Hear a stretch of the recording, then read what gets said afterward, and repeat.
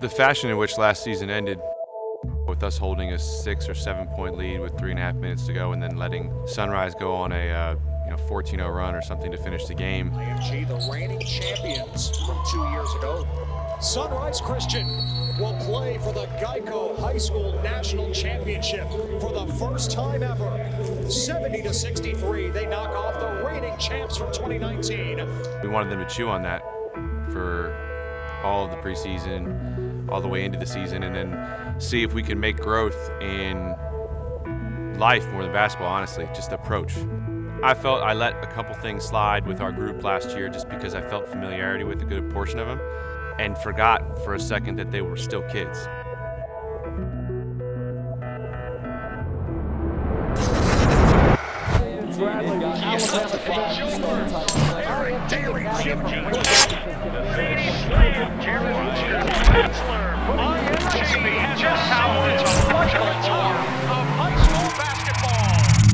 Long game. We talked about it a significant amount last year about the long game. It don't matter how you start, it matters how you finish. One on one with Eric Dailey Jr., who's going to go, and he turns around behind the back. When you do have seven seniors, there's a lot of dynamics that go into it, especially when you have seven seniors that are as talented as we have. It can be a like a gift and it can be a curse.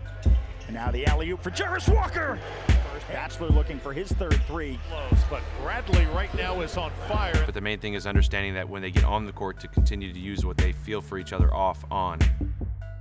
Last year, when I was asked pretty much the same question in terms of, you know, what's the goal? The goal is the goal. The goal is to be there in the last day with an opportunity to, to win the whole thing. It's gonna be ups and downs. The road's not gonna be straight. But as long as you keep traveling on that road, you'll eventually end up to your destination. But you don't get there without doing all the boring and all the stuff in between. And, and I felt at some points last year we focused on the goal more than we did on the daily. What's their approach going to be every day? Whether it's on time to class, on time to the gym, getting in extra work. You're not gonna get worse working out or waking up early in the morning to get breakfast. It's little things. The little things start to add up as you get older. And if we learn those little things now, we only become better people and players. For my senior season, I set a really high goal. I remember when I was a sophomore, we had five seniors on our team. I just watched how those guys worked and watched their, their efforts on and off the court, how they took everything so serious, knowing it's their last go around. I always knew that my time would come, but I didn't know it would come this soon. Well, I think Eric has come a long way. Uh, you know, obviously he's been here since uh, middle school. He's trying to impact the game on more than just scoring. He's having assists, he's defending, he's rebounding, he's running the floor. You know, we're, we're putting him on guys that are centers, and he's not a center. The more you can impact winning, which isn't easy to do. best high school basketball players in the country going head to head, and we've got a front row seat, 15 ranked players in the ESPN Top 100. You know, as the season moves, you're just moving, right? You just you never stop. You have to really stop and drive home each day a lesson of some sort.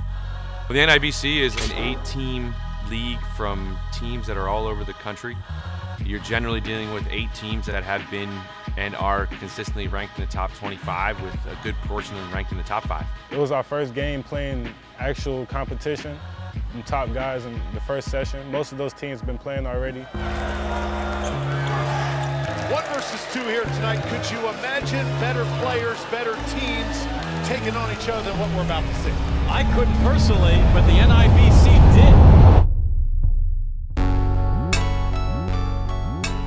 did. You win or lose to, to Montverde, Sunrise, Oak Hill on December 2nd.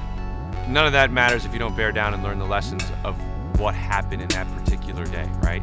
This is the matchup that we want. I can barely hear you, Drew, because that's how raucous the student section is here at Montverde. Tied at nine. The outside now it's Dailey, and he puts it in. Blitz.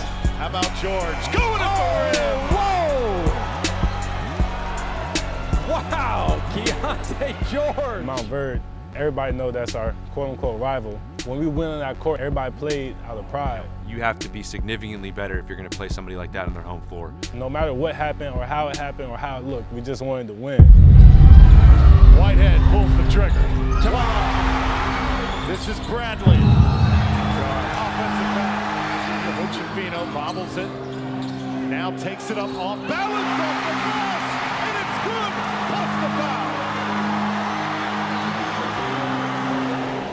Felt we scrapped and fought and uh, we're tough defensively and offensively. Obviously, we were able to use some of the things that we can do uh, with the talent that we have, uh, and then we're able to finish it off with Keyonte sticking with it on the on the last play.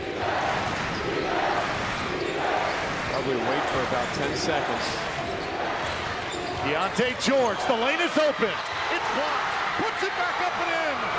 Six seconds. Hood Schifino. Clock winding down. He'll fire it at the buzzer.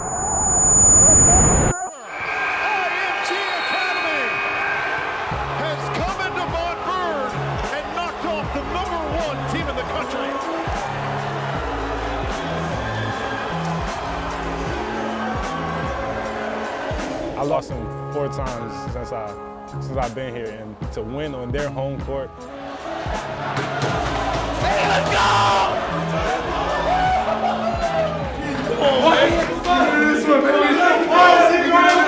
in their house. That's in their house. I don't know what their streak is, but it's done now. Okay? Now, most important.